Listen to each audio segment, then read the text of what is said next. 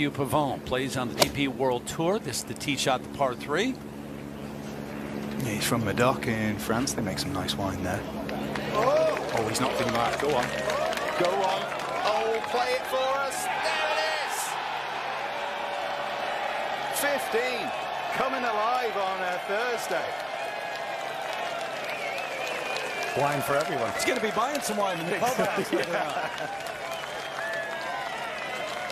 Got an ace at 15, day one.